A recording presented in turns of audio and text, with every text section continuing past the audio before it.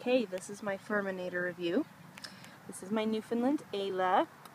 Say hi, baby. you got your ball. now, I wasn't sure about this brush when I first saw it. I wasn't sure if it was worth the money. Um, luckily, I did work at a vet's office, so I could try it out before I bought it, but I'll show you just with a couple passes. It already gets out quite a bit of hair. And yes, the handle, she did get to that. I was pretty upset with her yesterday when I found it. But great brush. I think I spent about $45 on this one. And you can see that is how much hair I've gotten out.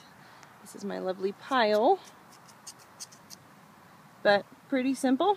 Just brush and then you got your release mechanism here. Love this brush. I would recommend it to anybody thinking about buying it. And that is my review.